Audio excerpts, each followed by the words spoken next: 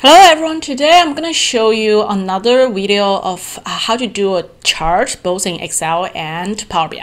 So this time is a funnel chart. So I did have a video on how to do a funnel chart in Excel uh, for recruitment or sales purpose. Um, and as you see, it takes me about 10 minutes to do uh, because it's not a chart type that's readily available in Excel. Today I'm going to show you how to do that in Power BI in 10 seconds. So okay, so now uh, this is the file that I used for Excel uh, for the Excel version. I'm just going to use the data here, um, and this is the data I had for my uh, Excel version. I don't need that many for my uh, Power BI data version anymore. So I think the only thing I might need are the steps, um, the head counts, and uh, the selection ratio. So let me paste that uh, data into a new Power BI file where for my simplicity, I'm just going to enter data here. Click on the uh, column one, paste in your data, rename it or whatever, load into it. And you can see the data is loaded right in here. Uh, and then this is a funnel chart type that you need to select. You select it and it's going to be like this. Um, you basically drag your steps in here and then say drag your head count. And then here we go. That's pretty much what you need. Like you just need to make sure you put the chart where you can show all the all your steps um, and also show all your numbers. So this is how you can do it with the head count. You can actually also do the same chart but with the selection ratio because you see now it's showing the head count here. Um, it's going to be the same thing if you want to show the selection ratio. So it's going to be uh, put the steps into the groups and the selection ratio into the value.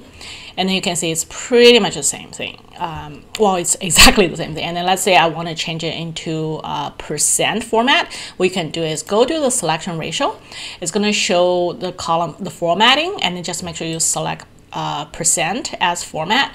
And then let's say I just want one decimal space and then there you go. Um, an alternative way to do that, let's say if you want to show it in both, what you can do is that, let's say our head count is showing on the screen. I can also choose to put my selection ratio into the tooltip. Note that in the tooltip, note that it doesn't change your chart at all. But then when you point to any given item, you can see the selection ratio is in the black box is in the black box. It's the last item in the black dot box, which is the tooltip. So that way, uh, when you demonstrate this to your clients, they can still see the selection ratio.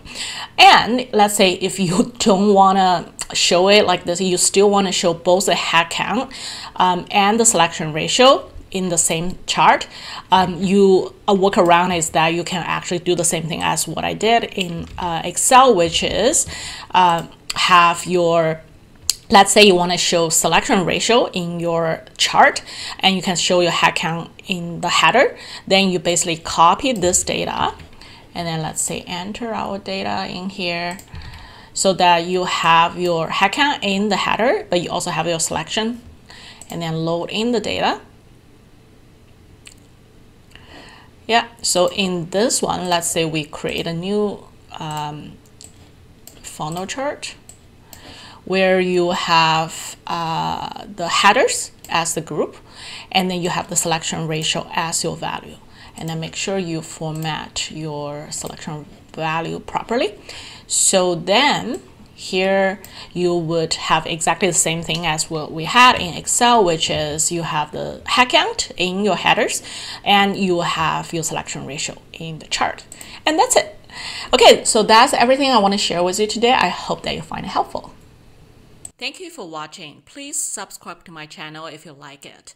If you have any question, please leave me a comment and I will talk to you very soon.